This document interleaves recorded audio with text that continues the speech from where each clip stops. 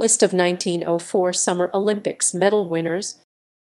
The 1904 Summer Olympics, officially the Games of the Roman III Olympiad, were an international multi-sport event which was held in 1904 in St. Louis, United States. Archery Athletics Boxing one Jack Egan originally won the silver medal in the lightweight competition and the bronze medal in the welterweight competition. Later it was discovered that his real name was Frank Joseph Floyd while the AAU rules made it illegal to fight under an assumed name. In November 1905 the AAU disqualified Egan from all AAU competitions, and he had to return all his prizes and medals. Russell Van Horn got silver. Peter Sturholdt got bronze in the lightweight competition and Joseph Lydon keeps bronze in the welterweight competition.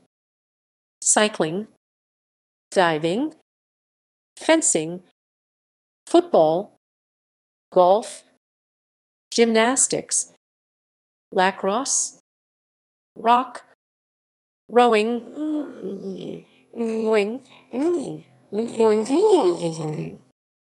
swimming, tennis, tug of war, water polo, weightlifting, wrestling,